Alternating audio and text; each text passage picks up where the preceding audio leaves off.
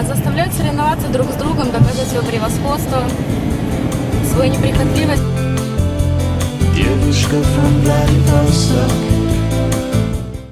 Доказывать, что мы способны справиться с любой Фукусимой.